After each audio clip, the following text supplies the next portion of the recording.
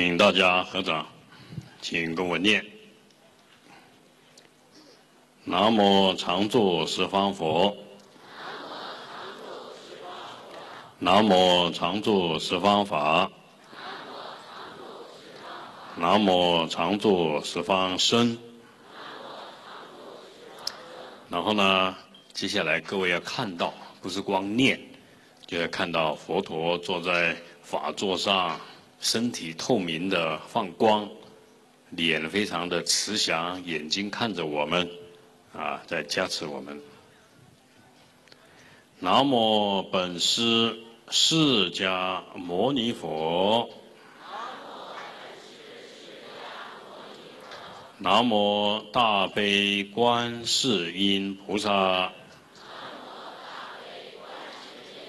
南无大愿。地藏王菩萨，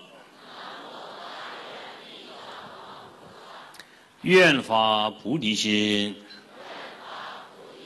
消灭自私贪心，愿信因果，证空性，消灭愚痴邪见。愿修忍辱，行慈悲，消灭嗔恚心。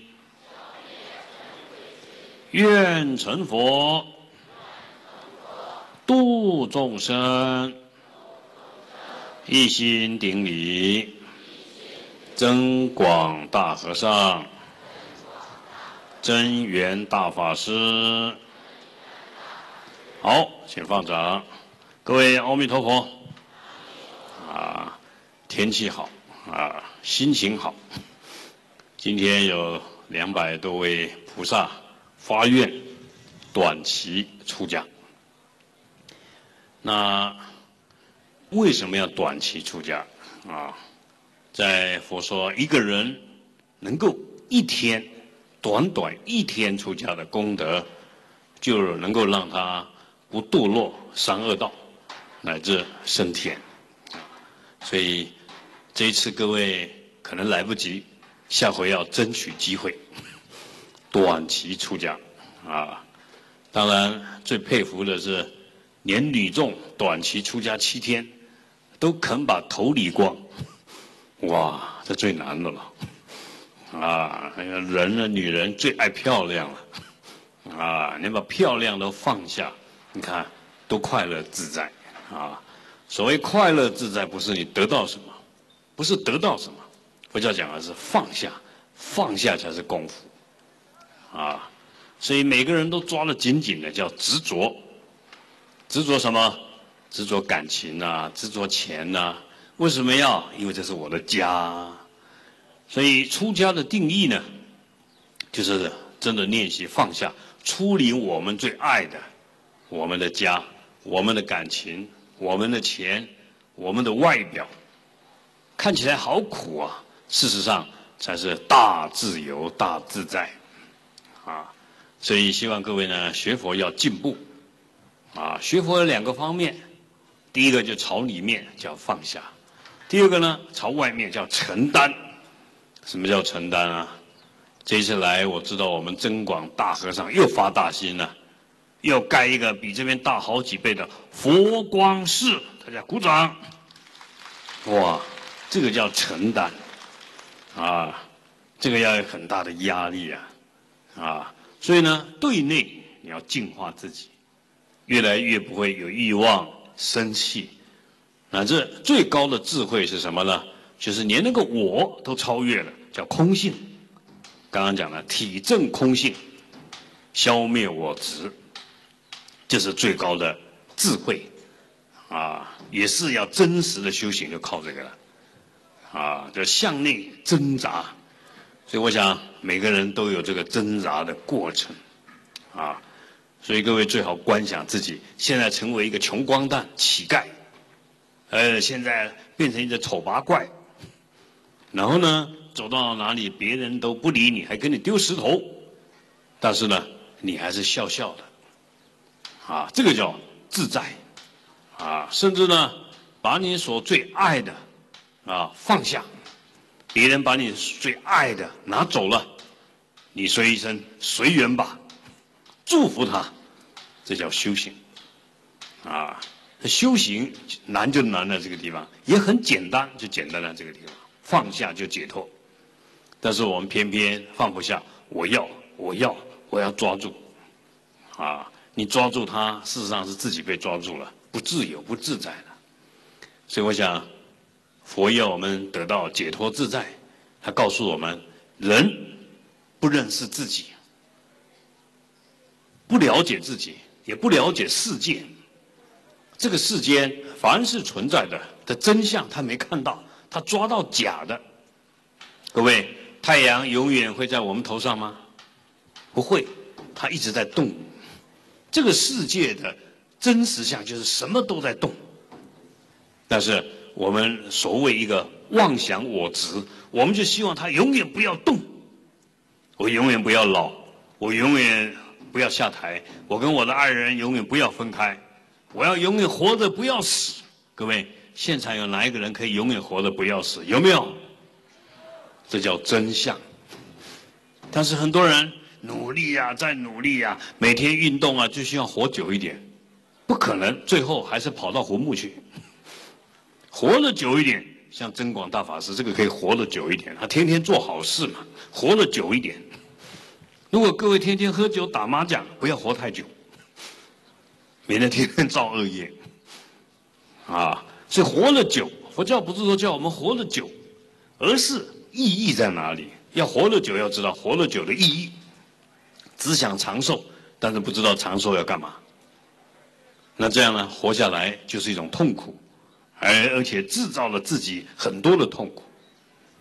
所以佛教叫智慧的教育，那这个智慧叫透过听闻佛法。还是研究经典佛书，啊，那么第二步呢，进入思考、反省。所以修行人的特点就是什么事情他都分析过了，很冷静的分析而决定，而不是一种啊很急躁、容易哭、容易生气、容易冲动，那你就不好修行了。所以到寺庙来叫我们慢慢的念佛、打坐、拜佛，他就要让你培养一种个性。这种个性就是非常冷静自在，啊，有时候我认为修行人有一点像什么？以前看电视叫职业杀手，啊，无血无泪的，哎，跟那个女人睡完觉就给她砰再见，一点感情都没有，啊，还不得不如此了，有感情就苦，啊，当然这讲的是一种一种看得开，但是不是这么酷。我们所讲的这种智慧是包含了大悲心，啊，什么叫大悲心啊？你如何爱你的儿子的那种最大的挚爱，你要把这个爱平等无分别的去爱所有的生命，包括你的敌人。各位，包括的你你的敌人，你都要爱他，伟不伟大？佛就是如此，观音菩萨就是如此。哦，今天你老公搞外遇了，你赶快拜观音菩萨，拜什么？拜观音菩萨，求我自己爱他们，接受他们。这个叫拜观音菩萨。你拜观音菩萨，菩萨赶快把那狐狸精调走啊！你拜错了，你不知道你所谓的狐狸精是你过去的妈妈啊，现在又来做你的先生的爱人。你看你先生孝不孝顺？啊，所以你不知道，你误会了，你把爱人当敌人，你把敌人当爱人，这就是佛教讲的愚痴，愚痴。所以哪一天你了解了因果了，哎呀，你真的是啼笑皆非啊！我怎么会做这种笨蛋呢？所以修行人到一个阶段，或因缘成熟了，有些很厉害，自己做梦知道了，啊，有些。透过别人跟他讲，知道了。有些人修道，修到自己看到自己的前世，知道了。哦，不可思议！我先讲一个故事啊，在印度有一位大成就者，啊，他是一位整个学院的啊寺庙的大主持，学生的院长，底下有一千多个出家人，都听他的，尊敬他。那有一天，这一位大法师打坐的时候，他想到他妈妈，他开发了神通。哎呀，我妈妈现在在哪里？啊，虽然他这个神通还不圆满，但是他想着他的妈妈，终于知道他妈妈在哪里。哇，一知道可哭了。我在这边做大法师，原来我的妈妈还在做鬼道受苦。他妈妈做什么鬼啊？有一种石头，各位路边的石头不要乱踢呀。石头里面就有一种鬼叫孤独鬼，他一直被关在那个石头里面，要等到那个大石头变成灰尘，他才能够脱离这个孤独。他永远看不到他的亲人，叫孤独地狱。而且他的妈妈每天被火烧，为什么？别人把这个石头啊。拿来烤火的时候，就把它垫在旁边这样烧，然后他妈妈每天在孤独地狱有被火烧，你看苦不苦？然后他就赶快打坐更深的入定。我妈妈在哪里啊？哇，原来他妈妈是在我们中国啊西藏。那个时候这位大成就者在印度，然后他讲的是印度话，然后他妈妈呢在我们的啊西藏的山里面，哇，结果呢他就把他所有的钱呢。收集好，干嘛？他要找一个会讲我们藏语的啊的人陪着他，因为他要从印度开始去找他的妈妈，沿途要面对很多事情，而且要翻译。走了一个多月，终于来到了中国，走入了西藏的山里面，啊，结果走到山里面，那个导游啊，居然发病死了，死了，剩下他一个。印度来的人跑到我们中国来，半句话也不会讲，那怎么办？就变成乞丐啊！但是他还是一直走，一直朝那个地方，边走边做乞丐。到那里以后，终于找到那户人家，看到那一颗石头，好多颗石头埋在那边，在那边烤火。他妈妈在那边被烤，哎呀，他急呀！啊！但是他不能讲，他就跪在那边求那一户人家说：“我是个流浪人，意思用笔的啊！你们只要让我。”做什么工都可以，有饭吃就好了，啊，那个人那个人家看到这个人还蛮老实的，虽然讲话听不清楚，但是他稍微了解，意思是说讨口饭吃，做工都可以，好吧？你天天就在我们仓库里面做工吧。他就在那边天天做工，天天白天做工，晚上啊晚上打坐念经忏悔，一直在超度他妈妈，一直在超度他妈妈。结果要超度多久？两年的时间。啊，以他天天晚上像不睡觉一样放蒙山诵经施食回向给他的妈妈，他妈妈终于脱离轨道，那块石头烧到破掉了。啊，破掉了以后啊，分了好几片，他妈妈脱离轨道了。然后呢，那个时候啊，他就跟他的主人表达，还会一点点讲话了。他说：“谢谢你照顾我两年，我要走了。”哎呀，他主人说：“哦，我哪里去找到这种工人了？半毛钱都不要，做工这么努力，啊，这么努力，而且天天我看他很虔诚在修行啊，真好。两年了，半毛钱都不要。”他主人说：“这样不好意思了，我送个礼物给你好了。你要什么？”他就合掌了：“我能不能跟你要那个破的石头啊？我能不能把那几颗石头捡走？”啊，主人当然答应了，他就带着这个石头。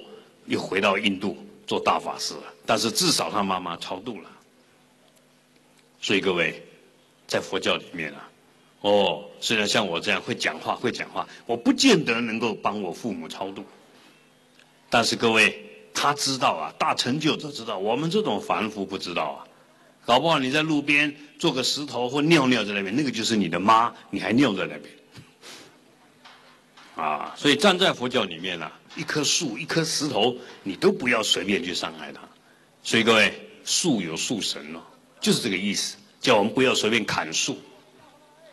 啊，就像经典里面有一个出家人打坐了，坐了很久，结果他经过莲花池，啊，这莲花好美哦，他就在那边呢，手碰了莲花，吸一口气，哦，好香啊。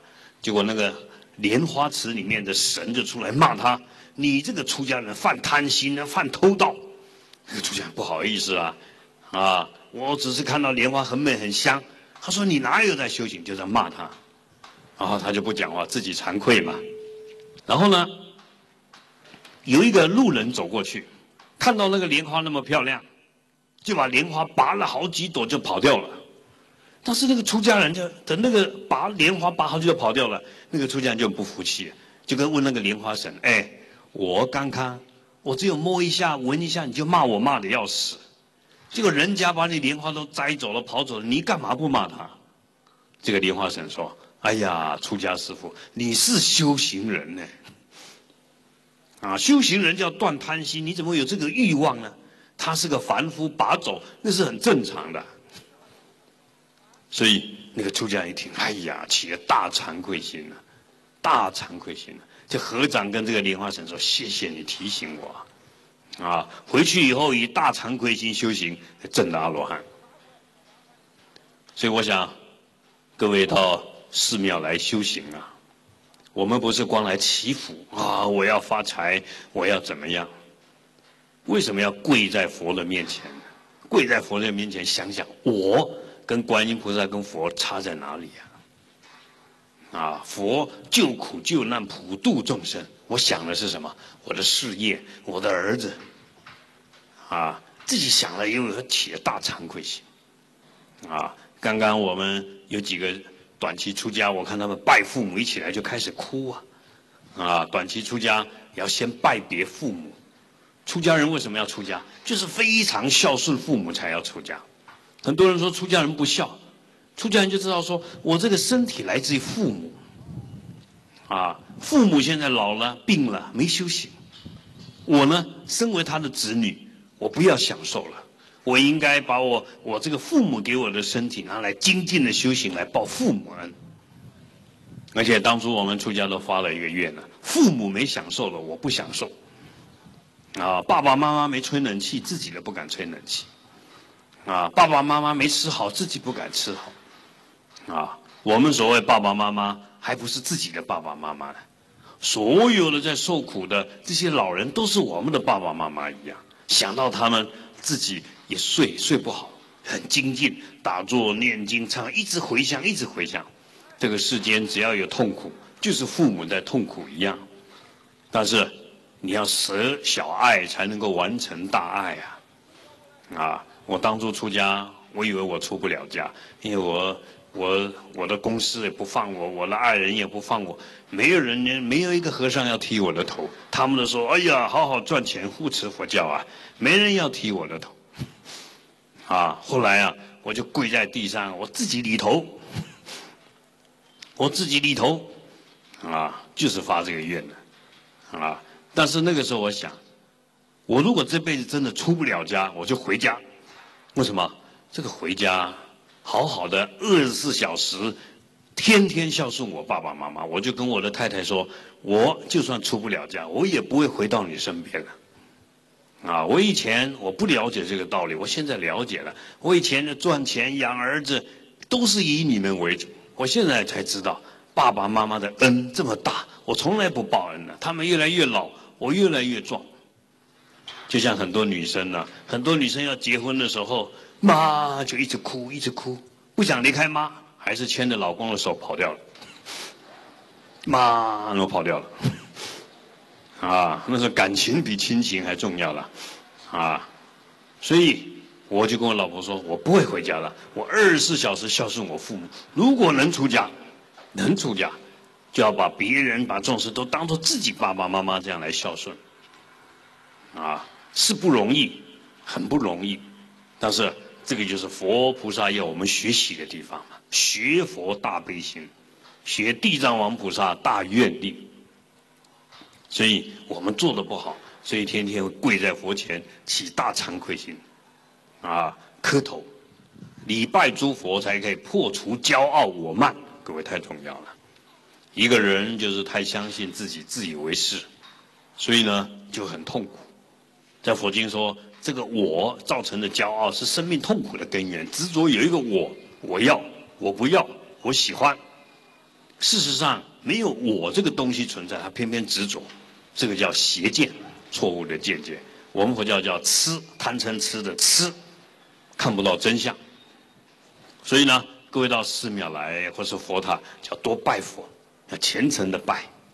啊，拜的时候慢，五体投地，然后呢，希望佛加持我，让我看到真相，让我有智慧，啊，这个呢，在佛教里面叫破除骄傲、邪见、我慢，很重要，体悟空性很快的方法。所以我们当初刚出家的时候啊，哎呀，每天跪，跪到三个地方黑的，师傅才说你拜得好，不能拜拜殿的，都拜那个。啊，硬硬的土地，磕头磕到这块黑黑，呃，膝盖黑黑。师傅说：“嗯，这个有一点要修行了。”啊，看书我最会。我师傅说：“你不用看书了，呃，你要开始学什么？看书读书人就最相信自己了，最难教了。啊，不要看书，天天拜佛，天天拜佛。啊，而且在拜的时候，不但拜佛，要拜蟑螂，要拜蚂蚁。”啊，我们身为男人看不起女人，开始拜女人。啊，没有女人，没有妈妈，怎么会有你？他就是要消除你的这种骄傲心。所以我讲到这个地方啊，修行人最大的重点就是要有老师，要有善知识。啊，如果没有一个好的老师这样引导我们，哦，我可能一出家就去读佛学院，读到第一名，哦，做教授，做院长，自己以为自己读了很多书，啊。就会有这种读书人的骄傲，啊，读书归读书，修行归修行，那，这两回事了，啊，但是修行就要有人在你旁边，里面盯你、骂你，啊，找你麻烦，啊，这个找你麻烦的过程，看你还有没有一个骄傲心出来，啊，骂你骂到你不会有自尊，啊，这个魔就要靠着外面这样打你，不然没办法，所以。如果一个人要得到所谓解脱自在啊，刚刚讲了，还是那句话，来征服自己，消除我执，净化自己，啊，就像很多居士到寺庙来布施，布施的意义不是一种骄傲哦，我出了很多钱，当然这会有福报的，啊，不分宗教。世间的善人都会布施，这个叫仁慈心，但是跟佛教的这种悲心不一样的。布施的目的要干嘛？就是我要把我最喜欢的来布施出去，消灭我对他的贪心，这个叫布施。布施的定义在这个地方。啊，那为什么要守戒律？守戒律就要告诉自己，千万不要想要去伤害别人。啊。连一只蚂小蚂蚁我都不敢伤害它，这个叫守戒律。啊，为什么要修忍辱？哦，我除了哦对拿钱给你，而且不伤害你，但是对方还要骂我，所以我还要对他修忍辱。他骂我，他伤害我，就是在消除我的我只爱面子，我还要谢谢他。啊，各位要升起这样的心啊，所以别人骂你都变成有功德。你自己有功德，他也消你的业了。啊，如果别人骂你，你只一一直忍，一直忍，那这个跟智慧不相应的忍耐，哪一天你会爆发的？啊，别人骂我们，伤害我们，我们是说为什么我会生气？因为我有一个我执骄傲，所以我忍不下这口气。哎呀，我很惭愧啊。所以你一直骂我。就是在提醒我，我有一个骄傲我执，谢谢你，谢谢你，啊！但是自己一直想要生气，就一直起惭愧心，这个叫什么？你没有如此消消灭不了嗔恚心呢？忍辱度嗔恚，所以所有世间的福报就来自这三样。我们佛教叫福慧双修，啊，福报从哪里来？福报就要从布施、持戒、忍辱来，所以来，各位跟我背一下啊！来，布施消灭贪心，持戒消灭伤害，忍辱消灭嗔恚，啊，这个就是修行啊！修行不是我挂个念珠说我是佛教徒啊。修行是你要从你的思想、语言、行为对待别人的方法要去改变，叫修行。一个正确的方法去对待。哦，以前我看到一棵树，啊，这个树不好就给它斩掉，现在不敢了。现在看到树，哎呦，这上面有树神呐，而且树神还没关系啊，没有树，人类就没有空气呀，啊，那个树帮我们遮太阳啊，树把我们的二氧化碳废气吸走啊，啊，树把氧气给我们了，树让这个土地啊保持完整，免得有水土啊土石流啊，哇，树对人类的恩这么大，啊，对这个树从内心里面升起一个感恩心。所以我讲一个故事啊，在佛陀的时代，出家人呢，就释迦牟尼佛就会给他一个法门，比如说这个人欲望很强，佛陀要让他修不净观；这个人脾气很大，释迦牟尼佛啊就要让他修慈悲观；啊，这个人比较散乱，释迦牟尼佛就要就要叫他修呼吸法、安那班那，或是啊念佛各种的方法。然后呢，这个修行人拿到这个方法，他就到森林里面好好的打坐，针对佛陀给他一个最好的药，来消灭他个人最大的烦恼，这样呢就可以得到解脱自在。请各位要抓住这个修行的一个基本，这个叫什么心呢？念一下：出离心。啊，出离心就是说我决心要出离生命轮回的痛苦。各位要升起这个决心。啊，生命的苦，并不是你有很多钱，啊，很多男人女人爱你就，这个是一种麻醉，没有看到真相，只是用了一种短期的麻醉，这样而已。真正的痛苦没有解决掉。人不能只为了生活在过日子，由生活要提升到什么？为了生命，由生命为了什么？生死，为了生死在在生活，由生死变成什么？众生的生死，这个叫菩萨。菩萨不是关心自己的生死，他关心的是众生的生死。各位，你自己的痛苦重要，还是大众的痛苦重要？大众，自己不过是小小，千百万亿的众生有千百万亿的痛苦，他们才重要。我们的痛苦算什么？所以菩萨根本就忘了自己的痛苦，每天急着去忙着如何救苦救难。刚刚我们。居士开车进来，我旁边看到马，哎呀，我就为跟他们涉水。你欧马那边没空，我就问我们开车的这位菩萨说：“哎，那那些马如果老了，呃，不能拖东西怎么样？”啊，大部分就卖给人家杀了。哎呀，心里就痛了。啊，我说这这些像老妈妈、老爸爸一样，一辈子为我们抬东西，为我们耕田，为我们做这么大的事情，等他老了不能耕了，卖给人家杀掉。各位，这样狠不狠呐？不合道理，不合天理，啊！所以我就在想，哎呀，怎么办？这些老牛老马，最好我们给他买回来，啊，盖个养老院，啊，让他们一辈子剩下的一两年，快快快快的，自自然然的，找几个马医生、牛医生，减低他们的痛苦，啊，这是我们能够报恩的。所以各位呢，我们每天在想，但是我们做不到，自己觉得很惭愧，啊，一只马我们都有时候做不到，一只老牛我们都做不到，啊，自己算什么？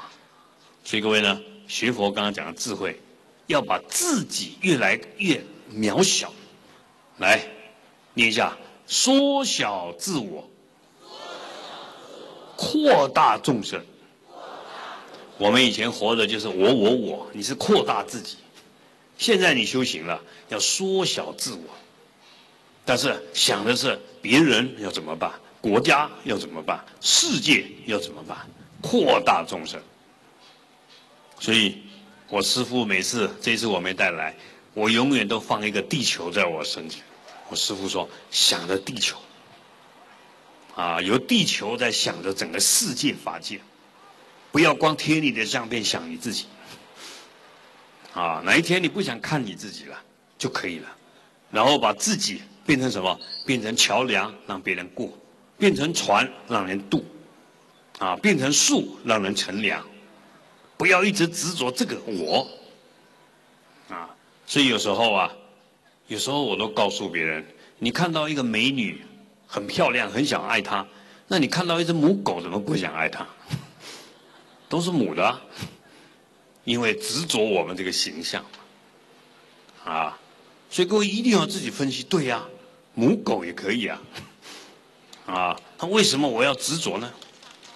啊，所以我们就有这个执着，人只爱人，我不爱那个跟我不一样形象的。啊，年轻的只爱年轻的，哎，今天你三十岁，那个老菩萨六十岁还没还没嫁老公，你娶她好了，哎，不行，那老了。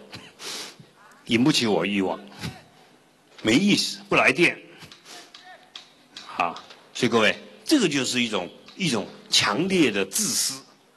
原来你去爱外面的，不是真爱他，你爱他吗？你只是拿他来满足自己而已，填补自己的空虚，满足自己的欲望，那是真爱吗？那叫假的爱。啊，真正的爱是慈悲。那一只母牛。那只母狗，啊，那只小鱼，你对它毫无目的，我没有想要从你身上得到什么，但是我只希望你暂时快乐，而且将来就近解脱。啊，就像我们放生的时候，把那只鱼放下去，难道还要跟鱼谢谢吗？你不希望赶快游泳，啊，一直跟他念阿弥陀佛，念嗡嘛呢呗咪吽，愿鱼，哎呀，安享天年，将来。得生净土，每天都是这样子的为他在祈愿。啊，像我，我已经养了将近四千条狗了。啊，在台湾有五百头牛，啊，在印度有一千多头牛，其他的羊、鸡、鸭不用讲了。啊，这些都是我的眷属，我要天天为他们而回向。我前面还有一个本子，这本子里面有一百三十万个名字。现在越来越多了，什么被堕胎的小孩，啊，帮他取名字，帮他取名字，啊，天天带着，天天带着到哪里，一直要回向，一直要回向，然后呢，天天都要帮他泡牛奶，每次六七瓶温牛奶给他泡着，啊，泡着，哎呀，大众的大家这边念佛共修的力量要回向给他。啊，愿他脱离一个恨，为什么？爸爸妈妈不要他，他就有一个恨，一个苦啊，啊，这个恨跟苦就会造成一个报仇，啊，一个恶业，那我们要赶快不断的回向给他，不断的超度他，啊，用什么力量？来念一下慈悲的力量，啊，要对他慈悲，但是没有他，你也没办法修行慈悲。所以刚刚讲了，看到痛苦，别人伤害你，你要感谢他，他让你修慈悲心。啊，我们现在没有办法得到一个自然的慈悲。什么叫自然的慈悲？你看到你的儿子跌倒，你赶快冲过去拉起来，你一点点都不用思考就冲过去拉起来，这个叫无虚伪的慈悲。那我们现在只能叫什么？长养慈悲，故意的，故意的。哦，看到那一只。死快死掉的鱼，就把它想成自己的妈妈，然后呢，去培养，然后故意救它，一直想要救它，培养慈悲心。到哪一天，自自然然了，自自然然了。就像各位年轻在谈恋爱要培养，天天约会，天天喝咖啡，天天打电话，然后呢，到了几年以后就不用培养了。为什么？没他不行啊，那就结婚吧。啊，因为你已经什么呀，陷进去了。同样呢，在我们大乘佛教所培养的慈悲就是如此，要培养到对每一个生命要自自然然的去爱上他。这个爱不是执着，没有欲望的，只是希望他永远快乐，永远离苦。永远快乐叫大慈，永远离苦叫大悲。而且升起了对他的一个强烈的责任感，啊，生命的责任感。你的痛苦是我的责任，啊，这个叫。真上易乐，所以为了要帮助你离开痛苦，这是我的责任，所以我一定要成佛。我不成佛，没有办法就近帮他离苦，这个叫什么菩提心？我们佛教讲发菩提心，啊，那发了菩提心以后，就一定要广度众生。那你要广度众生，就要消灭你不度众生的敌人。广度众生的敌人是什么？就是这个我执。就是没有空性，保护自己，那个就是你度众生的敌人。所以你要佛教讲说要证的空性，空就是无我，你还有你自己，你就没有办法圆满的去度众生。所以为什么要短期出家，乃至我们长期出家，这个就是在念走入空门，没有头发，去除骄傲傲慢，穿出家衣服啊，叫百纳衣，去除贪心，住在公共场所。啊，乃至寺庙也没有个人的房子、金钱财产，啊，那你这样不执着，你没有个人的感情生活，要和和。我们和尚叫和谐为高尚，要跟每个人都和和，不但要跟每个人都和和。医生说你得癌症了，我要跟癌症和和。啊，一般人说，哎呦，得癌症了，赶快看医生了，赶快做化疗，把癌症消灭掉。哎，不容易的，癌症不见得能够消灭掉。啊，癌症是我的朋友。有了癌症，我才知道众生好苦好苦啊。所以呢，我一定要为所有在生病的人念佛药师咒。特别今天，今天我们还要做一个特殊的的法会。等一下，各位袋子里面都有三包药。这三包药啊，希望各位等一下有空啊，写上名字。不是光你的名字，谁在生病，谁在受苦，写上他的名字。然后等一下呢，我们要把这个药布施给法界受苦的众生，不是光人道、地狱道、鬼道那些被杀掉的牛羊、猪鸡鸭，他们的中阴身刚被杀掉了，他们很痛苦。我老实告诉各位，好不好？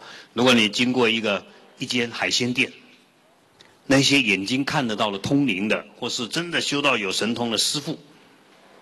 然后我都是做证明，我这个人很喜欢做证明，啊，我就会去请那些看得到了，或是那些有的同样的地方，我说你你告诉我你现在看到什么？如果你是经过呢是海鲜店，他就说那边现在有很多各种的鱼啊，有些只剩下头，有些只剩下尾巴，还在那边游来游去跑来跑去，就执着在那个地方，因为他的身体在那个地方。然后呢，如果有人在吃它，他就在后面一直恨人家打他，但又打不到。啊，各位可不可怜？可怜了。如果你去去一个牛肉面店看，牛肉面店外面都是那些你在吃的那些肉，有些只剩下大腿，有些剩下牛头，还在那边徘徊，很恨。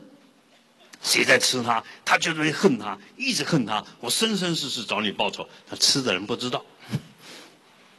啊，我还有一次经过那个那个专门在做烤鸡的肯塔基，肯塔基，然后呢，我看不见。我请了一位看得见的这些修行者，他说：“哎，海涛法师，你赶快把你的甘露水拿出来。”我说：“干嘛？那些鸡在那边求，身上被火烤啊，烤的都发热了，就求你啊！我真的还假的？你告诉我方向，我就一直喷。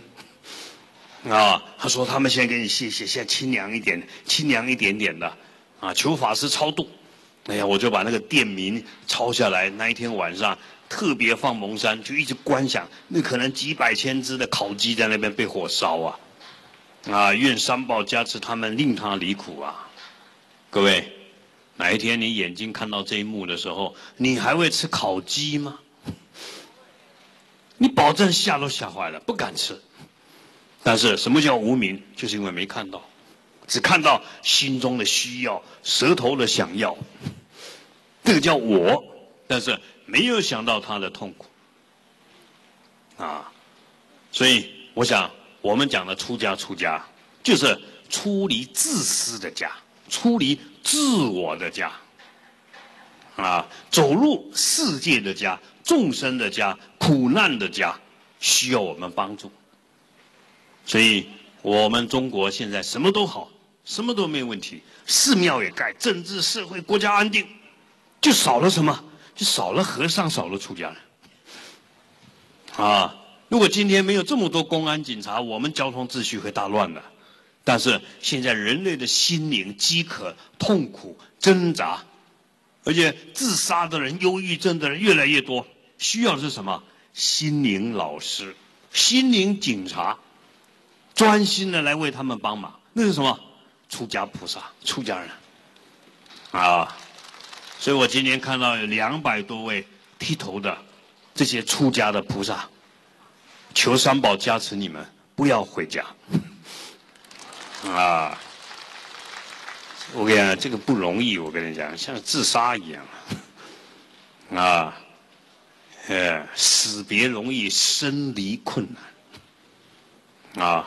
出家人有家人啊，有家人，然后你说要把它割舍掉，这个真的是苦到极点啊。我自己一样，我有父母，我过去有爱人，我有很好很可爱的小孩，到现在我想到他，我心里都哇，好甜哦，好可爱啊啊！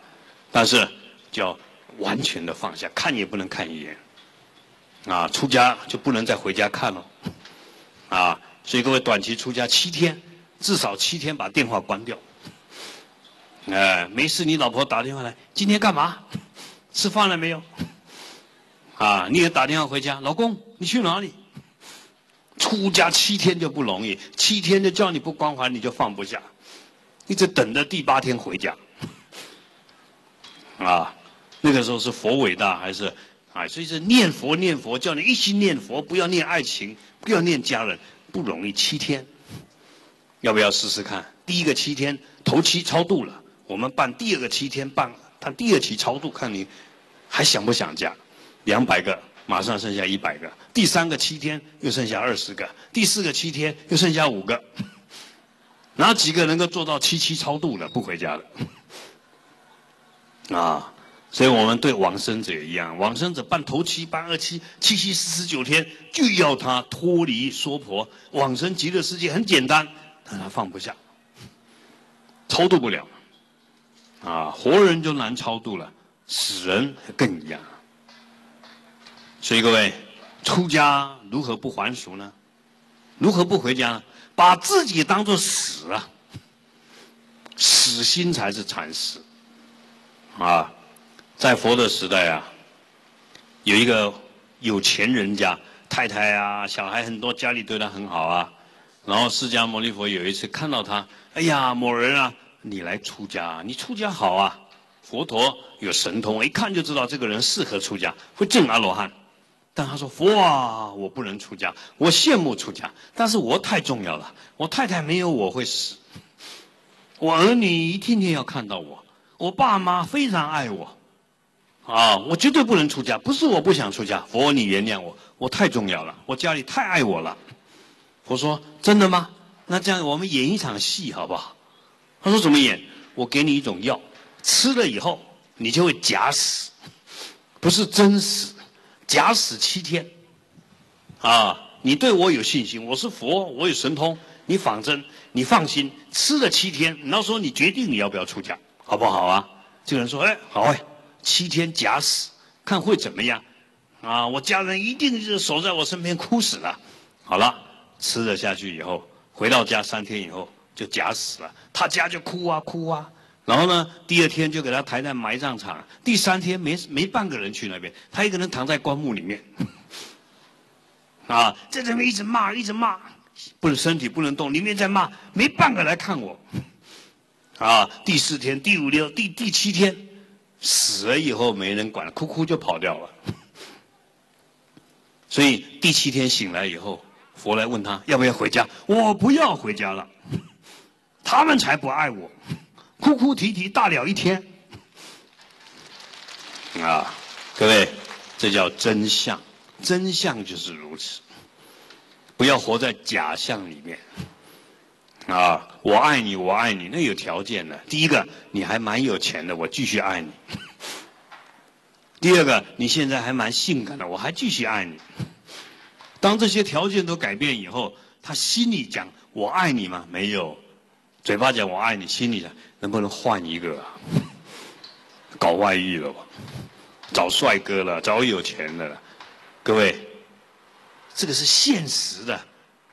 啊，这个世间是现实的，但是有时候我们不知道，我们把假的当真的，哦，你会觉得他还爱我，他爱我，啊，所以我想，就是因为爱，我们才要修行，修行才能够利益我们所爱的人。啊，佛经说，一个人放生，全家平安。你看，一子出家，九贤七祖尽超生。所以。刚刚我看到有人掉眼泪，我在想，要掉什么眼泪？就是七天以后要还俗回家了，哭啊！我为什么不能留在这边？那个时候哭吧，啊，那个才是在哭。我不能出家，你看我业障多重啊！啊，要这样想。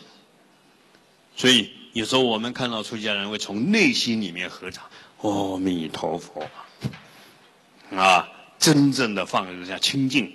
那种超越外表、超越金钱、超越感情，哇，值得我尊敬。啊，不讲话都有功德的。所以，我们修行要找到一个正确、一个正确的心态，啊，这个一个动机。刚刚讲的要出离心，但是我们有出离心，不是大乘佛教的要求。我们自己知道生命很苦，有感情很苦，有欲望很苦，生老病死很苦。啊，种种的苦，我们体悟到苦，才想到别人都一样在苦，我们还知道苦，想要离开；他们不知道苦，还想要制造痛苦。所以各位，你现在已经学佛了，结婚了，生了小孩了，跑到佛寺来拜拜了。特别这些老菩萨，老菩萨最喜欢拜佛，为什么？知道苦了，拜佛很好，念阿弥陀佛很好。然后老菩萨。当你们看到年轻人手牵手要结婚，你是祝福他还是为他摇头啊？可怜啊！因为什么？开悟了，你知道感情不是就近啊。啊，年轻的时候好像很快乐，老的时候那个是一种苦。所以那个时候要怎么办？所以同样的，就像你在生病，很多人说生病怎么样修行？生病也可以拿来修行。当你生病的时候，你才知道胃痛真苦啊！一个嘴巴破一个洞真苦啊！然后呢，这么多动物活活的被解剖，没有打麻醉剂，没麻醉，你看他们多苦啊！你一点点苦，你就想到他们被杀的苦。我认识一位在家男众啊，他特别喜欢吃牛肉，然后我有一次到嘉义肉品市场那边呢。大部分都杀猪，我们台湾的嘉义一天杀五只牛，然后我就请这个男菩萨，我找个借口，哎，我不会开车啊，你帮我开车，我到那边我们要办法会，啊，结果去那边刚好他们是从差不多晚上九点多开始杀牛啊，杀一只牛可不简单了，可不简单了，啊，然后里面在杀牛，外面还放五只牛，牛不会跑的。猪知道跑，牛不会跑，牛只会掉眼泪，啊！然后里面在杀牛，就把牛一只脚吊起来，啊，让它挣扎，然后把它喉咙切开，然后慢慢慢慢流血，慢慢流血，啊，流到差不多了，然后放下来，不会挣扎，慢慢解剖，慢慢割，然后我带他去看，我自己是不敢看，我自己怕死了，看不下去。你的儿子，你的妈妈在那边被杀，你怎么看呢？看也看不下去，但是我带他去看，我为了要让他了解，因为他特别喜欢吃牛肉，看了以后他当场哭，他受不了，他哭，啊，我说对了，出来以后我问他，他一直哭很久，我不敢问他，等他比较冷静了，你说你看，人为了吃牛肉，害那只牛多苦，啊，结果他自己讲，师傅。以后我不敢吃了。我说对，你就记着这一幕就好了。我们以前吃是不知道它苦，所以觉得很好吃，红烧牛肉，啊，牛排还滴血的。台湾人还更好玩，我不知道这边有没有。台湾人喜欢吃什么猪血汤，啊，那个猪血然后变成一块一块的，加什么什么韭菜呀、酸菜呀、辣椒粉，嚯，我排队哦，排队啊。猪血汤，啊！但是如果像各位今天知道了，你想到他们的苦，那个流血的苦，而且喝他们的血，自己也会得到一个血血的疾病，你敢吃吗？不敢。这一点就是我们需要来听闻佛法的地方，来看佛书的不。知道了，知道你就要开始修行。啊，修行呢？就开始自我挣扎，啊，征服自己，跟自己比赛。如果你能够超越自己了，本来喜欢吃，现在不吃了，哇，心情好快乐，很快乐。所以我刚刚讲了，我们在生病的时候，你才想到别人病的苦，那你如何消除你的病苦？哦，我生病才知道病的苦，所以我为所有生病的人念药师咒。我有所有生病的人不施药，愿他远离病苦。你如果做这么大的功德，自己病会不会好起来？马上就好起来，力量太大了。但是如果你生病，只为了你自己生病去放生、去念药师咒来回向给你自己，那力量就太小了。啊，所以叫转烦恼为菩提，自己病才知道众生苦，所以以愿这个众生离苦的这种慈悲心、菩提心去修行。去念药师经，所以讲到这里边啊，大家都会念心经。我顺便要教各位念心经咒，大家都会。这个心经咒功德很大，先跟我念一次来。大利他，嗡，揭谛揭谛，波罗揭谛，波罗僧揭谛，菩提萨婆诃。大家都会念心经后面揭谛揭谛，波罗揭谛，波罗僧揭谛，菩提萨婆诃。他告诉我们这个咒是什么咒？是大明咒，是大神咒，是无上咒，是无等等咒，能除一切苦，真实不虚。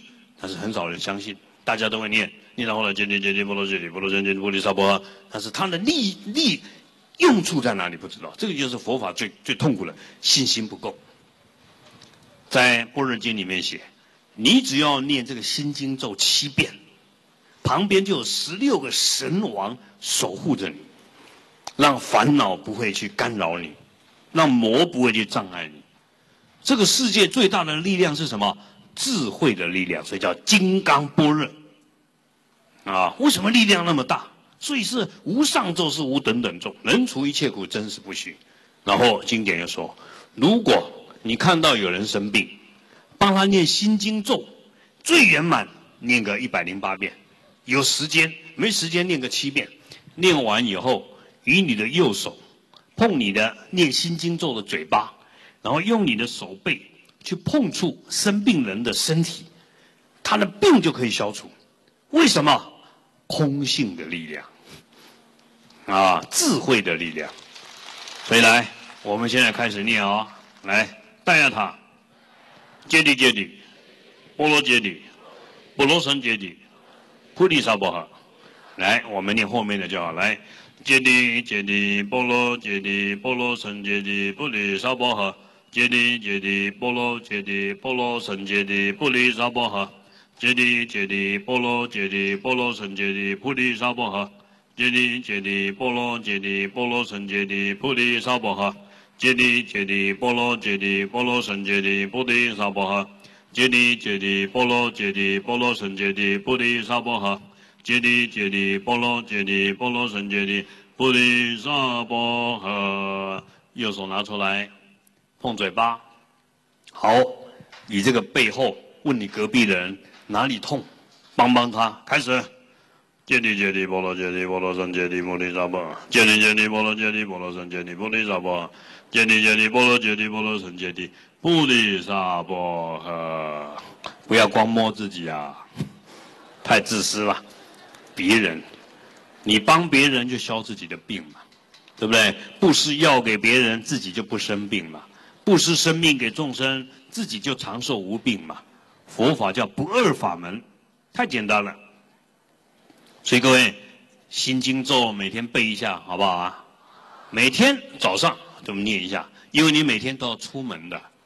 出门以后，你的手啊，跟人家握握手，啊。所以有时候他们叫我加持，我都这样碰他。他说：“师傅要用这一面，不是这一面。”我后来就这样，嘿嘿，啊，因为你有病，所以要用这一面，啊，所以我们佛教也有个十字金刚杵加持，也可以的了，就是这样，这个就锁起来，那不一样了，啊，因为我们也要修修观想，打开了，还要把它锁起来，啊。才有这样子比的，但是要了解哦，原来心经咒力量这么大啊！心经咒力量那么大，所有的佛号咒语都一样的。重点是你有信心，能除一切苦，真实不虚。我们去超度就是念心经啊！玄奘法师从我们中国要到印度取经，所有的灾难就靠着心经降服一切。啊，而且今天最好也教各位，下回我请真光法师 copy 给各位，因为现在很多人很彷徨，很彷徨，到底要怎么办？要做不做？玄奘法师在印度要去印度，观音菩萨告诉他一种卦，叫观音灵坎卦，三十二卦，有没有看过？以前印光大师、弘一大师都是用这个卦。玄奘大师特别从印度取经要回到我们长安，他真怕自己死在半路，他的努力就白费了。所以观音菩萨要他日占一刻，怎么占？来，五个铜板，上面写好金木水火土，啊，然后呢，一直念观世音菩萨的名字七遍啊，二十一遍。念完以后，把这五个铜板，啊，五个铜板撒在。桌子上，然后上面看是啊金木水火土是来着，那你就按照那个观音啊灵感卦啊观音灵感卦去看哦是金木水还是什么什么啊？那么就告诉你这个是上上卦还是下下卦，该出门还是不要出门，上面写的很清楚。来跟老菩萨鼓掌，阿弥陀佛啊。所以这个观音灵感卦。各位稍微注意一下，很多古书都有啊，啊，印光大师古时候的皇后，啊，都很重要。所以，我这些短期出家的，我最好趁你们还没有回去之前，把这个卦 copy 给你们，粘一下，到底要不要回家？啊，一回家下下卦，哎呀，这次不要回去了。啊，你要靠三宝加持你。像我那个时候要出家可困难的，这没有办法出家嘛。后来呢，我就去行天宫，台北最大的庙，在拜关圣帝君的，啊，佛教的护法。那台北人都在那边呢，呃，这个抽签啊，抽签，什么事都在那边问的。然后我就跑到那边，因为我过去的太太啊，我的小孩都拜那边了，我就跟关圣帝君说，出家这个事情交给你了。啊，我抽签的嘛，你要我出家。所以我不管了，我没办法解释了，就交给你了。我一定出家，啊，我头都不回，其他我都没办法解释了，啊，所以就这样，到我出家正式剃度，什么事都没有了，啊，关老爷负责了，啊，所以关圣帝君在我们佛教叫什么恩主公，啊，出家人拜韦陀，在家人拜关羽。因为韦陀菩萨就管出家人事，啊，伽蓝菩萨管在家人事，所以叫恩主公，啊，所以在家菩萨有什么困扰，那你就烧香祈请关圣帝君，这样就好了，啊，关圣帝君做主，这样，他就能够让你在家的事业、在家的事情圆满。这是每一个菩萨发的愿不一样了。啊，那我们出家人的事就就请示韦陀菩萨修这个法门好吗？这样这样啊。但是如果你没信心，那你就占卜啊，占卜就是五个铜板一撒下去，看上面的卦，这很容易的，很方便的。来，各位手上有没有这一本书啊？哎，在袋子里面，然后里面有没有几包药啊？然后我要各位把那个药啊。拿出来写上，写上痛苦的人的名字，但是要写什么呢？至少要写你某某人的历代祖先、七世父母，要要做功德给他嘛。然后如果里面有笔呢，就麻烦你写一下。然后写完以后，把笔借给隔壁的人也可以。总共有三包药，三包药啊，各位边写啊。